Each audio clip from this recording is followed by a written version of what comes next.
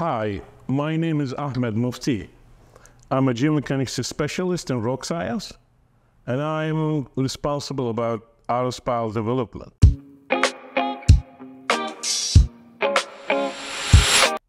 Capacity ratio is a feature in RSPile that gives you an indication when the axial load and the bending moments on a section, a reinforced concrete section, exceed the capacity of the section.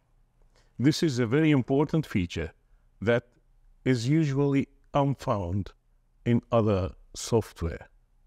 Let's have a look to what happens here. You can see in this model a reinforced concrete pile, reinforced with a couple of bars, and at the right side you can see the results of the analysis, and it shows the capacity ratio along the pile.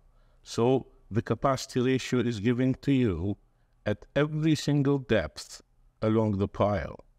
And you can see that also in tables.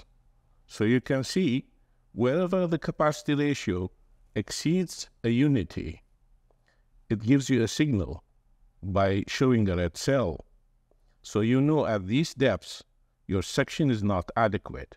You need to increase the diameter, the concrete strength, or the number of bars. You can see also in the graph here, so this part of the pile is not adequate. So you need to change your design.